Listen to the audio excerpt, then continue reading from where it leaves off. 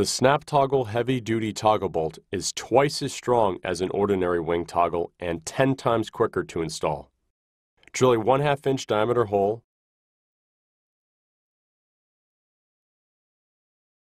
Hold the metal channel flat alongside the plastic straps and slide the channel through the hole.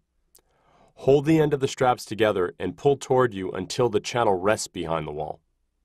Slide the cap along the straps until the flange of the cap is flush with the wall. Place your thumb between the straps at the wall and push your thumb side to side, snapping off the straps level with the flange of the cap. Place the item over the flange of the cap, insert the bolt, and tighten until snug against the item, then stop.